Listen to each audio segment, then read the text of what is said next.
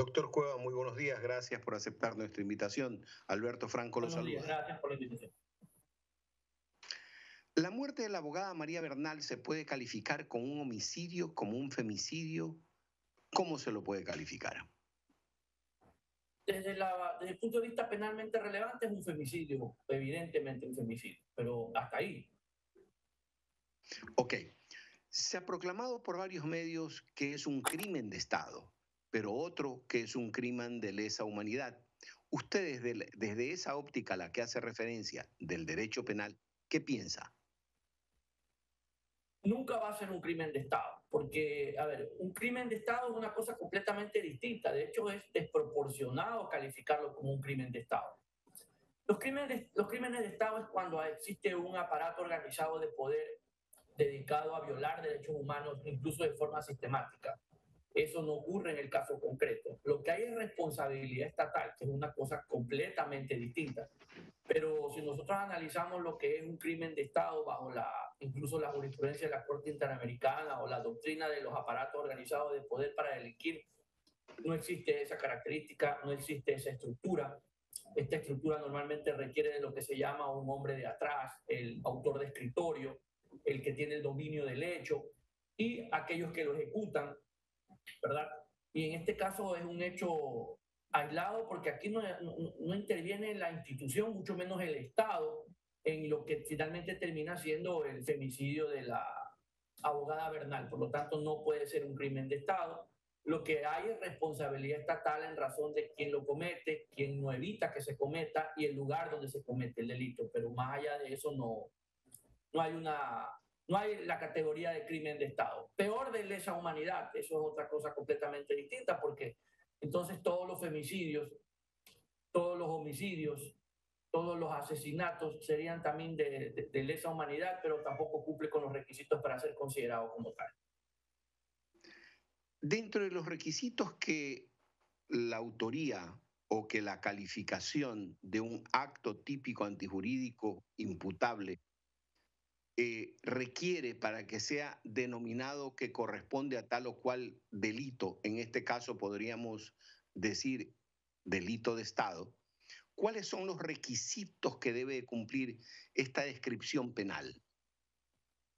A ver, eh, el, crimen de Estado como tal no, no es un delito propiamente dicho, es una calificación doctrinal y jurisprudencial respecto de cómo se produce el delito de torturar, desaparecer personas o matar personas, asesinar personas. Entonces, cuando, por ejemplo, hablamos de un crimen de Estado, cuando, por ejemplo, por eso hablábamos de un aparato organizado de poder, hay un gobierno que ha dispuesto a sus fuerzas del orden, por ejemplo, detener, torturar, desaparecer, asesinar a opositores.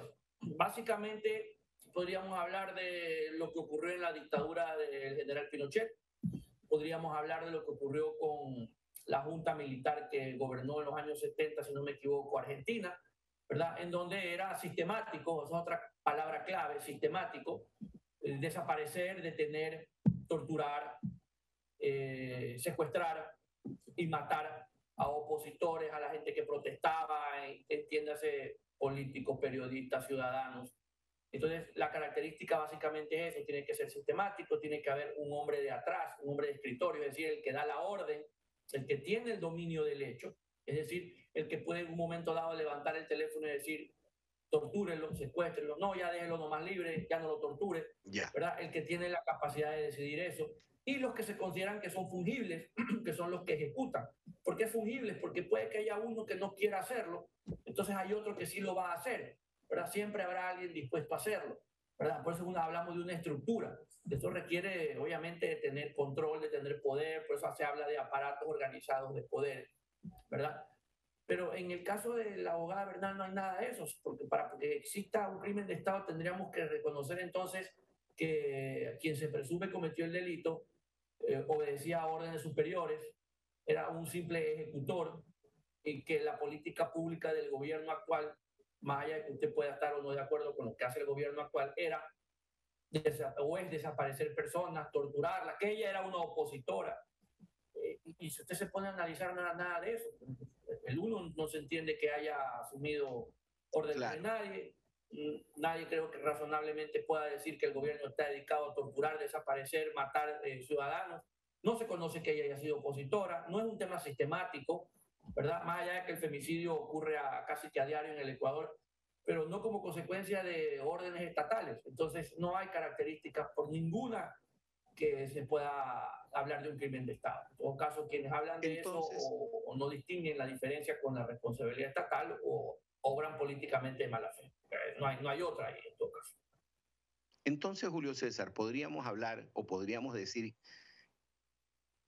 podríamos determinar de alguna manera cuál es la responsabilidad del Estado en este hecho o nos encontramos ante el crimen eh, de una persona, de un oficial de policía, funcionario estatal, viene a ser, pero y la cobertura por parte de un grupo similar, pero responsabilidad del Estado como tal no encontraríamos, pero sí de funcionarios. ¿Y cuál sería como consecuencia de que intervienen funcionarios la responsabilidad final del Estado?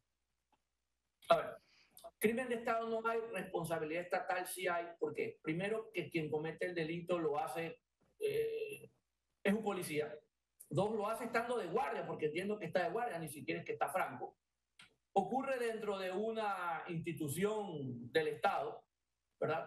Eh, le pongo un ejemplo muy simple. Imagínese una mujer viene, sale corriendo porque la quieren asaltar y entra a una unidad de policía comunitaria a pedir auxilio. Y los policías, en lugar de auxiliarlo, la violan.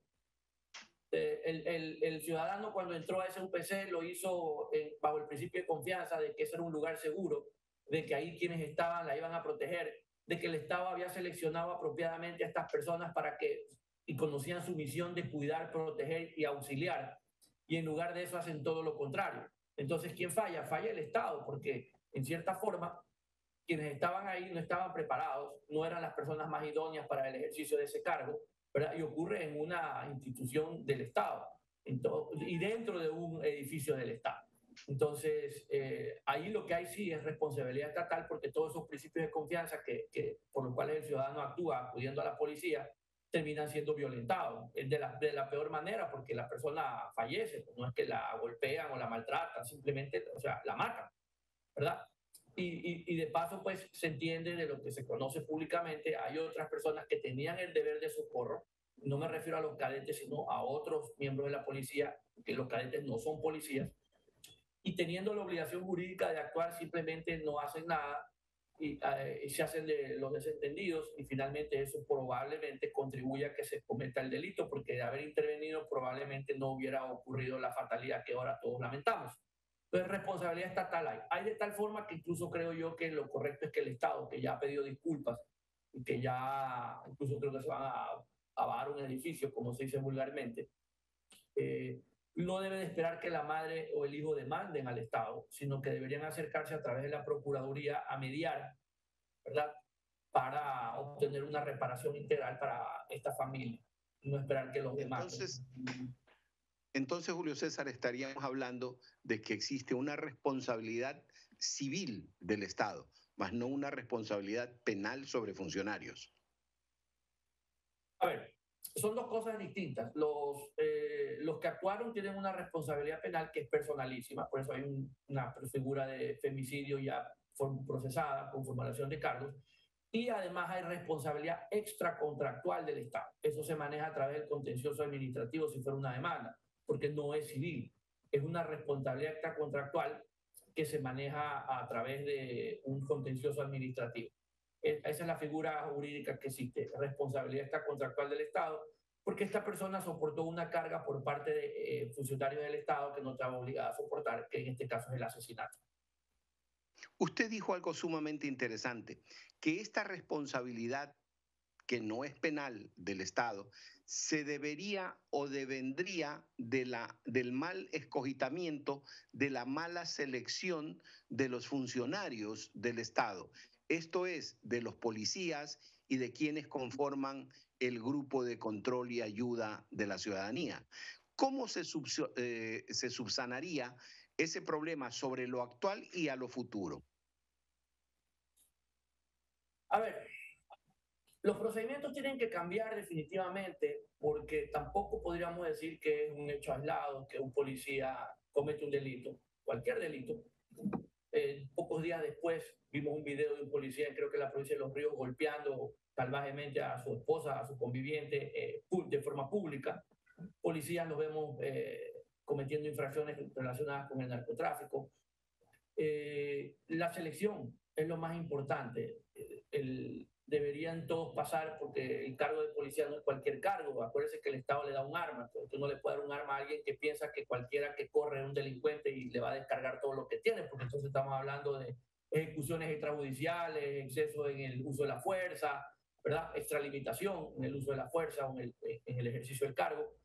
Eh, creo que parte de los exámenes que deben pasar, si es que ya los hay, pues deben de mejorarse porque obviamente no están funcionando, es pruebas psiquiátricas y psicológicas para seleccionar el personal, pero deben ser periódicas. Por ejemplo, si usted pregunta cuando un policía entra en combate, por así decirlo, con un delincuente y lo mata o lo hiere, ese policía al día siguiente sigue trabajando, aquí no ha pasado nada.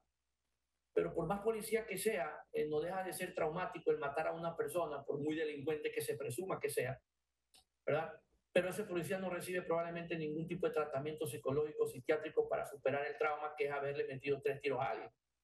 En otras latitudes, el policía que entra en un enfrentamiento con un delincuente, dependiendo de la gravedad del enfrentamiento, entra a un tratamiento psiquiátrico y psicológico y a un seguimiento, justamente para evitar que, que su psiquis se altere y esto afecte el trabajo que él hace.